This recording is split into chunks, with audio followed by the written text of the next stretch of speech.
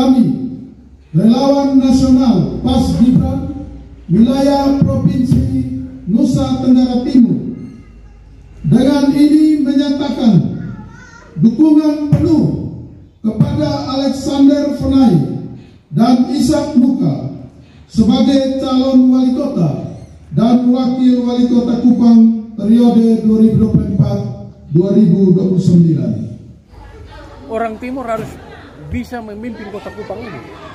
Iya. Orang Timur harus bisa memimpin kota Kupang ini. Dan sudah waktunya. Pak Alek dan Pak Ishak ini kan uh, perpaduan orang pengusaha dan biro, orang birokrasi.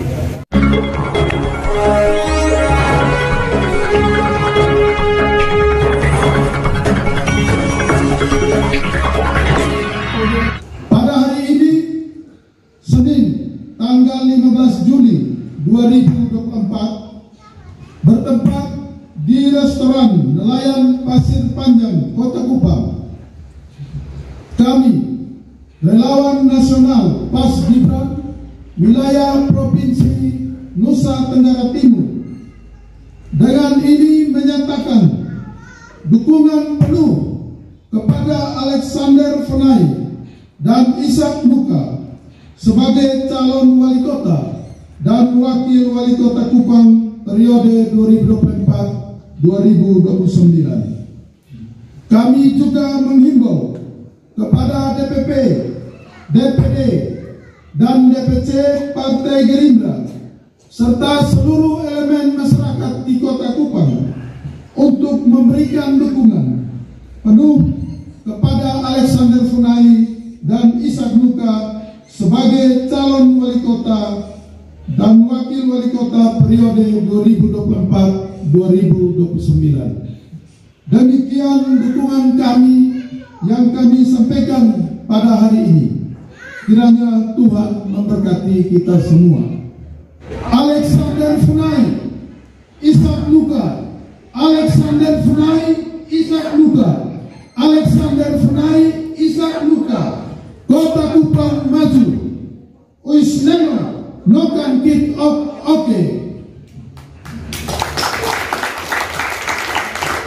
Demikian deklarasi yang kami sampaikan. Terima kasih.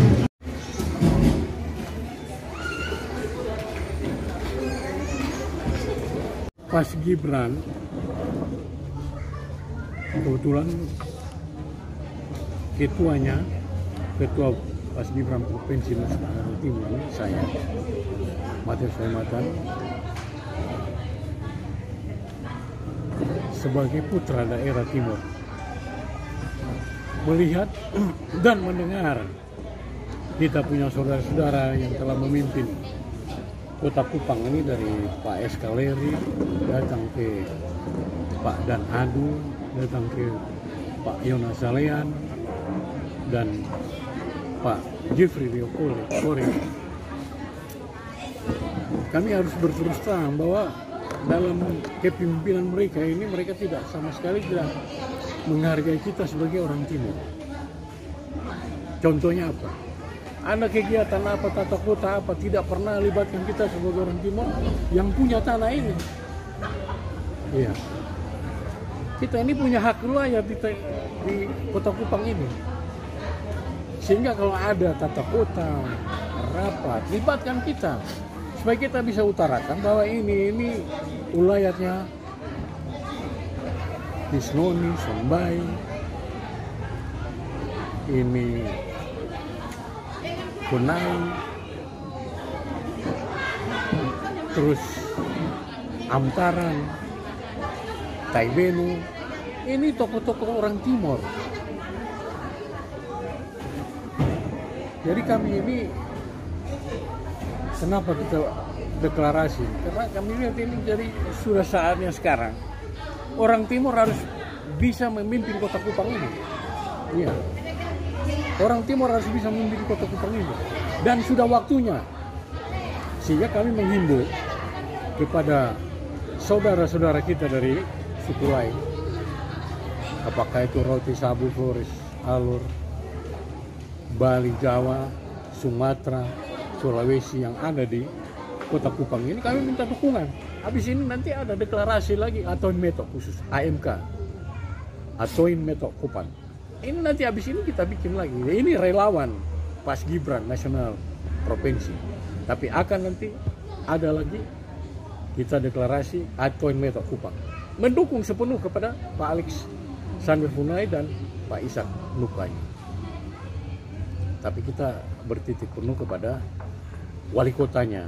Kalau bukan sekarang, kapan lagi? Orang timur harus memimpin.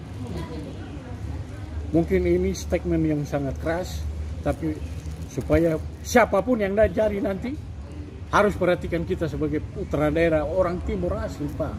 Jadi ini sedikit statement yang saya sampaikan ya saya berterima kasih kepada wartawan elektronik maupun wartawan cetak bisa meliput ini dan angkat sehingga ini sebagai bahan pembicaraan.